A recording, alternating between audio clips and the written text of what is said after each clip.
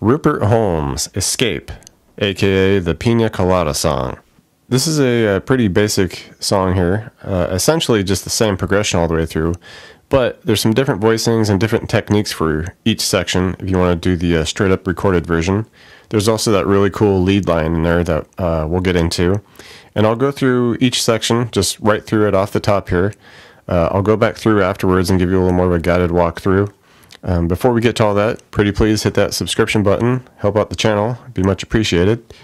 All right, and no further ado, Pina Colada song, here we go.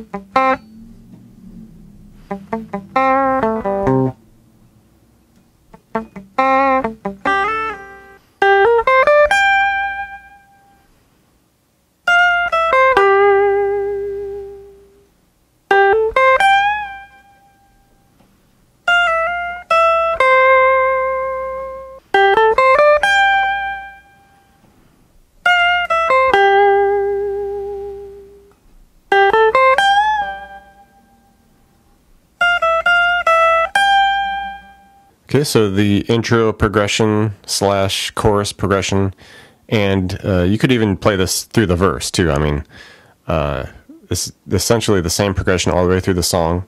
There are different things that happen um, if you want to do the actual recorded way, and I'll show you that. But uh, just in case you want to keep it simple, you could just do this progression the whole song. So it'll start here with this F voicing, and you want to do this kind of mid mid range F voicing here. So we'll do uh, 7 on the uh, D here, and uh, 5 on the G, 6 on the B. And we just want to hit that, just strum it once, cut it, keep it short. Okay. Now we're going to come down and kind of hit the bottom of this now, uh, keeping that 6 on the B, and then uh, fretting the 5 on the E. Okay, and you just want to worry more about like the B and E at this point. Okay, we're going to hit the uh, 6 and the 5 together, couple times. Okay, bring the pinky over, hit the 8 on the B with that 5E. Okay, now we kick off the next measure by coming back to that 6B, 5E. And we hit that once and cut it. Okay, and uh, there's some little small little transitional chords that happen between the main chords here. The first transitional one will just be this uh, part of a B chord here, and essentially we're just walking up into the next chord. Okay, so we're going to hit the fours here on the D, G, B. You want to hit it, hold it, okay, and then just bring it up a fret so that we get to that C now for the next measure. And once we hit the fives on the D, G, B here for that C, once you hit that, then you just cut that. Okay, so it'd be something like that. Okay, and that would get us into our next position, which is basically in this C now. Okay, and from there, you want to uh, basically focus on the B and the G string here. We're going to hit the 5 there a couple times. Come over, hit a 7 on the G with the 5B, and then come back to the 5s on the G and B. And once we hit that, for the start of the last measure, hit it once, cut it right? And the final chord that we hit will be an E voicing. And that's essentially our, our walk up transitional chord back to the original F. Okay, and the way we way you want to do it is essentially just uh, fret the exact voicing you had for the F there, but just be a fret lower. Okay, so we'll do that 6D, 4G, 5B. And like the other style with the other chord, we just hit it, hold it, and then walk up to our F to re-kick the whole thing, and we would just cut that F. Okay, so uh, let's just do it slowly here so you can kind of see everything work itself out here, okay? Let's slowly do it here.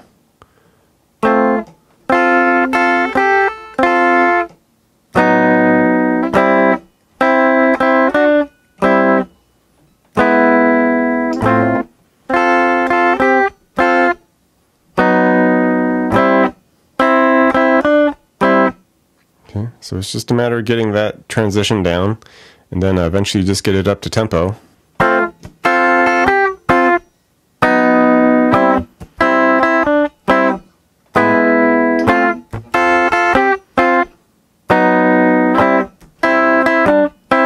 All right, once we get to the verse, as I said, you can either uh, jam away on uh, the initial main progression there, the F to B, C, uh, C to E, back to the F, that, that whole main progression, or what the, the uh, guitar recorded version is doing, it's just kind of picking around in a couple notes here, really. Uh, and they're, they're muted, and they're just kind of more of an accent to what's going on. Okay, so it's like we'll start here, and you can break it up into three different uh, chunks here that you can, you can just alternate through. Um, initially, you could do something like two to open on the G, kind of muted, and then hit that one on the B and give it a little vibrato. Okay, give that a little vibrato. Come back to the two open on the G, hit the one on the B, and then cut it. Okay, so it'd be something like. Some, something like that. Just small muted little notes that we're just bouncing around with. All right, and the next variant that you can do with it, kind of start it the same way. Hit the two open G, but then come up low for the low C on the three of the A. Okay. Right. And uh, then you can sprinkle in this little bit uh, where we do a cool little uh, slide up and down at the end of it. Okay, we start it the same way. Two open G, one B, little vibrato, two open G. All right, but now we're going to add this thing. Uh, one on the B, three on the G. Hit it, slide it up two frets for the 3B, 5E, and then just slide it right back down to the 1B, 3E. Okay, so it'd be like. Right. Just a little fun thing you can put on the end of that one. Right. So let's just try this all up to speed.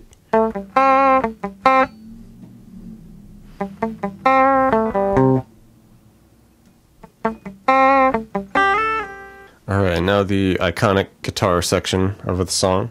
It's just that big lead line that happens. And uh, initially, uh, th this starts the same way throughout the whole part. Uh, there's a second, the second part to it though.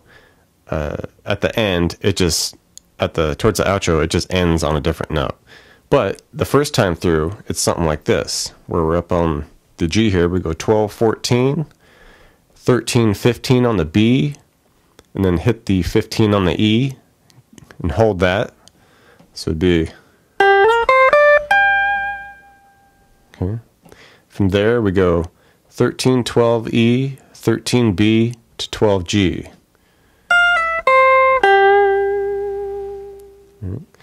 Second section here, uh, 12 to 14 on the G, 13B, and then we hit that 15 on the high E, and we give it a bend and a slow release there. Okay, from there you go 13, 12, 13 on the E, 12E, and 13 on the B.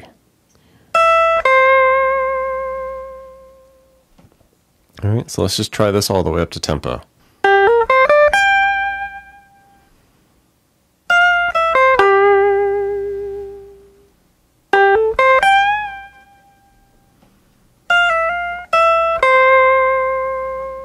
And once we get to the last time we do that uh, that lead line, um, there's just one small little thing that changes. Uh, we do everything the same, but the very last note we hit changes. All right, so instead of ending on the 13B, we're just going to end on a 15E.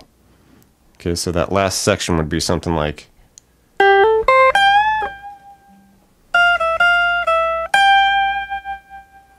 It's a small little thing that happens. All right, so I'll just do it one time through up to speed just to let you hear how it sounds.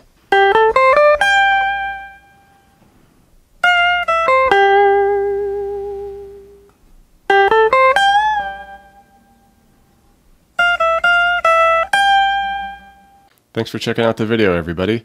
Like it, share it, leave a comment. It's always good to hear from you. Um, do me a favor and hit the subscription button I put out a video pretty frequent, so you don't want to miss out on that. Uh, check out the links in the description box below. I have really cool links for uh, tablature books, all the gear I use, t shirts, fun stuff like that. So thank you very much, and we'll see you next time.